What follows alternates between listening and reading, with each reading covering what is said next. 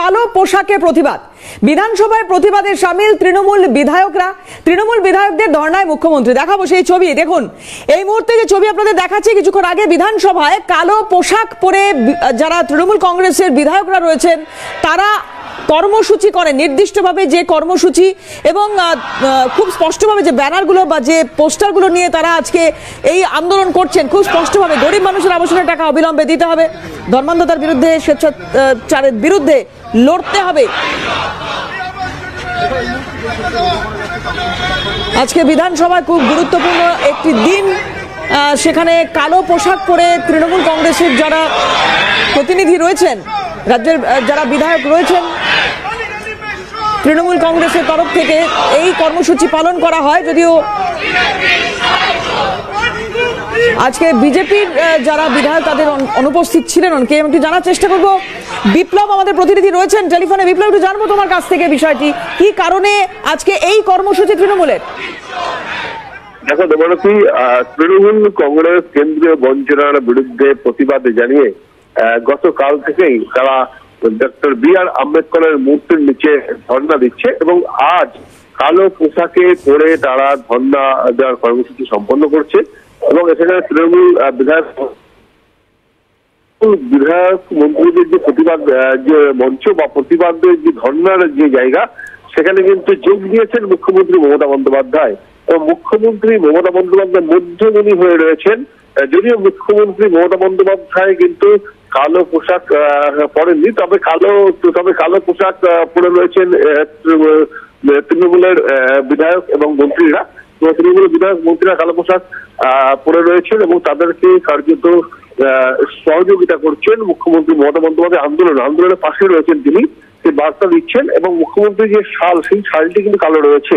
অর্থাৎ এই যে প্রতিবাদ, এই সেই প্রতিবাদ যে ধর্ণা, সেই ধর্ণায় সামিল হয়েছেন মমতা বন্দ্যোপাধ্যায়। কেন্দ্রীয় বঞ্চনার বিরুদ্ধে কার্যত তিন দিনের ধর্ণা কর্মসূচি আগেই ঘোষণা করেছিলেন মুখ্যমন্ত্রী। এবং সেই মতো গতকাল থেকে শুরু হয়েছে ধর্ণা কর্মসূচি। আজ দ্বিতীয় দিন আজ কালো পোশাক করে এই ধর্ণা কর্মসূচি মূলত কেন্দ্রীয় বঞ্চনা একশো দিনের কাজের বকেয়া টাকা এবং আবাস যোজনার যে টাকা, যেগুলো বকেয়া রয়েছে কেন্দ্র কেন্দ্র সরকারের, দীর্ঘদিন ধরে এই টাকা বকেয়া রয়েছে। অনেক তদবির করে, তদারকি করেও কিন্তু এই টাকা রাজ্যে মেলেনি। রাজ্য সরকার বারবার অভিযোগ করছে যে কেন্দ্রীয় সরকার ভাতে মারার চেষ্টা করছে রাজ্যকে। এই অভিযোগ করা হচ্ছে রাজ্য সরকার তরফ একটা বিষয় জানতে চাইব বিপ্লব। একদিকে আমরা দেখলাম অমিত শাহজির সভা। এবং সাধারণ মানুষের মাঝখানে দাঁড়িয়ে অমিত শাহর বক্তব্য আমরা শুনলাম এবং তিনি তার মতো করে যা যা ব্যাখ্যা দিয়েছেন কেন্দ্রীয় সরকারের বঞ্চনার বিরুদ্ধে যে আওয়াজ বিভিন্ন সময় ওঠে তার যোগ্য জবাব আজকে অমিত শাহজি দিয়েছেন। কিন্তু একদিকে জনসভা, একদিকে সাধারণ মানুষের মাঝখানে দাঁড়িয়ে বক্তব্য রাখা, আর অন্যদিকে বিধানসভার অলিন্দে তাদের এই আন্দোলনকে তৃণমূল কংগ্রেস রাখতে চাইছেন, যেটা শুধুমাত্র সংবাদ মাধ্যমের মাধ্যমেই বাইরের জনসাধারণ জানতে পারবেন। এই আন্দোলনকে নিয়ে কি রাস্তায় নামবে ভবিষ্যতে তৃণমূল? দেখো তৃণমূল কিন্তু আগে থাকতেই যে কর্মসূচি সম্পন্ন করেছে, অর্থাৎ রাস্তায় নেমে প্রতিবাদ কর্মসূচি এবং সেখানে অমিত শাহ আজ যে কেন্দ্রীয় বঞ্চনা নিয়ে যে অভিযোগ, সেই অভিযোগের ব্যাখ্যাও দিয়েছেন তার ধর্মতলার মঞ্চ থেকে এবং মমতা বন্দ্যোপাধ্যায় থেকে শুরু করে তৃণমূলের যে শীর্ষ নেতারা, রাজ্যের মন্ত্রীরা বারবার বলে আসছেন যে কেন্দ্রীয় সরকার চাইছে যে রাজ্যকে অর্থনৈতিকভাবে দুর্বল করতে এবং যাতে অর্থ- রাজ্য সরকার অর্থনৈতিকভাবে দুর্বল হয়ে পড়ে তার জন্য একশো দিনের কাজে টাকা দেওয়া হচ্ছে না, আবাস যোজনার টাকা দেওয়া হচ্ছে না এবং এর জন্য এই প্রতিবাদ আন্দোলন নিয়ে যতদূর যাওয়ার তারা যাবে, অর্থাৎ রাজ্য সরকার যে শাসক দল, অর্থাৎ রাজ্যের শাসক দল, শাসক দলের মন্ত্রী বিধায়করা, তারা যে আজ আন্দোলন করছেন, এই যে এই আন্দোলনটাকে অনেক দূরে নিয়ে যাওয়ার বার্তা দিচ্ছেন তারা, অর্থাৎ ইতিমধ্যেই জানিয়ে দিয়েছেন যে এই আন্দোলনের আন্দোলনের উচ্চতায় নিয়ে যাওয়া হবে এবং এই- যতদিন না টাকা পাওয়া যাচ্ছে, একশো দিনের কাজের টাকা এবং কেন্দ্রীয় আবাস যোজনার যে টাকা, যেখানে কয়েক লক্ষ লক্ষ শ্রমজীবী মানুষ রয়েছে, তারা বঞ্চিত হচ্ছে, তারা বঞ্চিত শিকার হচ্ছে, সেই টাকা যতদিন পাওয়া না যাচ্ছে। ততদিন পর্যন্ত কিন্তু এই আন্দোলন জারি থাকবে এবং এই আন্দোলন জারি থাকে না এই আন্দোলনকে আরও উচ্চতায় নিয়ে যাওয়ার কিন্তু বার্তা দিচ্ছেন যেহেতু বিপ্লব যেহেতু এই মুহূর্তে লোকসভা নির্বাচন আসন্ন এবং প্রতিবাদ বা আন্দোলন যাই যে কোনো রাজনৈতিক দলই করুক না কেন সেটা দিল্লিমুখী হবে এটাই স্বাভাবিক।